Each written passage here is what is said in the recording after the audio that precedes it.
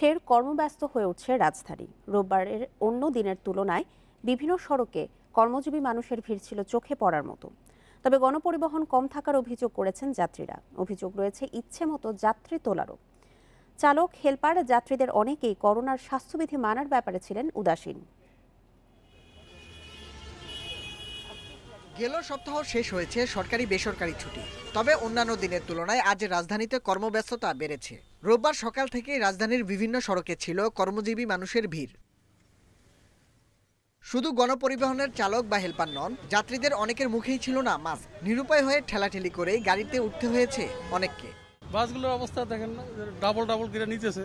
আর না নিয়ে কি করবে? আমাদের তো দরকার যাওয়া আমাদের তো অফিস করতে হবে। দুই সিটের ভাড়া আমরা একজনই দিচ্ছি কিন্তু আসলে তো একজন যাচ্ছে না দুজন করে বসাচ্ছে একজনের গায়ের উপর একজন বসে আছে। এভাবেই তো আমরা যাতায়াত করতেছি প্রতিদিন। করোনা সংক্রমণ প্রতিরোধে অর্ধেক যাত্রী নিয়ে চলার কথা থাকলেও বিভিন্ন বাসে দেখা গেছে উল্টো চিত্র। দুই সিটে একজন করে যাত্রী নেয়ার কথা থাকলেও নেওয়া হচ্ছে কয়েক গুণ বেশি যাত্রী। এছাড়া বাড়তি ভাড়া নেয়ার অভিযোগও করেছেন অনেকে।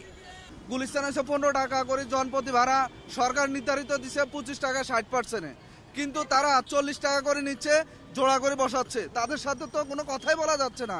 স্বাস্থ্যবিধি মানা হচ্ছে না এভাবে একজনের জায়গায় দশজন যাত্রী নেওয়া হচ্ছে। এভাবে হলে তো স্বাস্থ্যবিধি অবশ্যই মানা হবে। গাড়ি নাই তো এই জন্য যাত্রীটা বেশি। সেই জন্য কেউ দ্রুত মানতেছে না। যানবাহনের সরকারি নির্দেশনা নিশ্চিতের বিষয়ে আইনশৃঙ্খলা বাহিনীর তেমন তৎপরতা লক্ষ্য করা যায়নি। তবে কেউ সরকারি নির্দেশনা অমান্য করলে ব্যবস্থা নেওয়ার কথা বলছে পুলিশ। যাত্রীর সমাগম বেশি হওয়াতে গাড়ির সংখ্যা কম থাকাতে যাত্রী একটু বেশি হয়ে গেছে, এই জন্য আপনার লোকজন বেশি দেখা যাচ্ছে।